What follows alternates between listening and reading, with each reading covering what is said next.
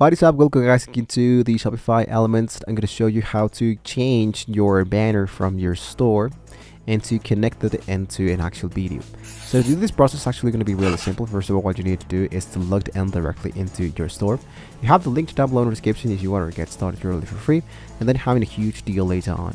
So now that I'm inside my actual new element of my Shopify store, I'm going to close this.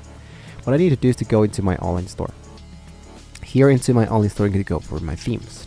So this is the part where I wanted to locate the place where I wanted to get started with the actual banner.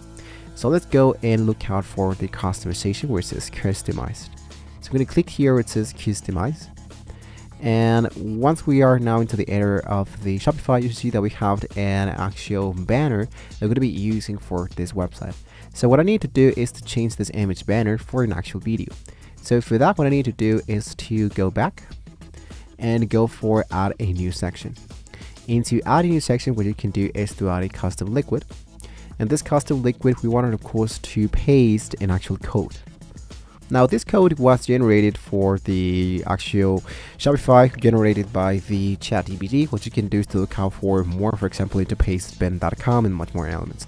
So in order for making this liquid quote to work, what I wanted to do is to look out for the actual video we wanted to make this source in.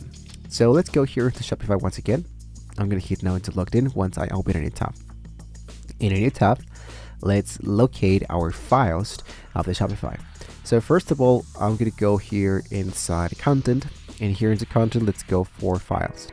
Now here into files, you should be uploading your video. I can totally recommend you to make it high quality, but during less than 5 seconds and of course working as an actual loop. So you can of course use elements, for example, Pexels, there's Pixabay, there's Canva, and there's so much more. So let's go for videos, let's go for closed, and select one video that you kind of like. So once you have selected a video that you liked to use for your customization of the video banner, then what you can do is to download it. After you download it, you can just import it directly into your Shopify files. Now that my video has now been uploaded, I can just look out for it directly into my files. I can go for upload files, let's go, go for videos, and here it is. So this one should be generating me an actual link. I'm going to copy this link I'm to head back directly into the editor of Shopify and here have the liquid quote. So it says source your video URL. I'm to select all of this video URL and I'm to paste it like this. So your browser does not support this video tag. As you can see, the video is now appearing in here and automatically it is appearing in a very easy way. So if I go back, I'm to select my custom liquid. I'm to place it into the upper side just at the top of my website. So now as you can see, we have this banner that actually works for my website. Now, if you like to customize this custom liquid, what you can do is to add much more criteria about it. So you can just type everything can be edited directly into the custom CSS. The other solution that you can do to get started in adding your new section of the banner video Shopify is to use the base pastebin.com. So the paste bin can be helping you to use this elements. And what you need to do is just to copy all of these assets.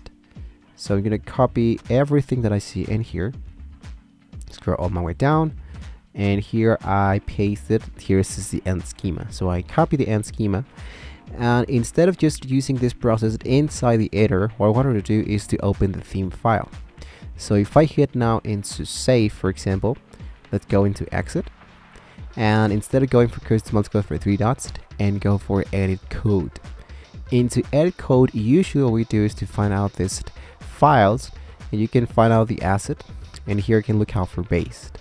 Now into base I can scroll all the way down and paste the code that I have just generated on or of course let's say copy it from the pastebin.com once you can paste this asset you can go back directly into the editor. Let's go customize the theme to the upper side. And when you customize the theme what you can do is to just add your new video into the upper side. What I need to do is to make sure that here I can go for add section. And into add section here is the video. So I can click now into video and the process is exactly the same. Now into video I'm going to select my video go for done and there we go. So both processes uh, work really easy. You can do it self if you think that the best solution is the first way that we used it then what you can do is just to use them. You can use both of them if you wanted to. So once I have made this process what I can do now is to go back select my video and put this into the upper side. Now if you see I believe that the best template that we currently have is this one the first one because automatically it has now started automatically. So we just go back delete the image banner that we currently have and we're actually good to go. So hit now to save preview your website and you're good to go.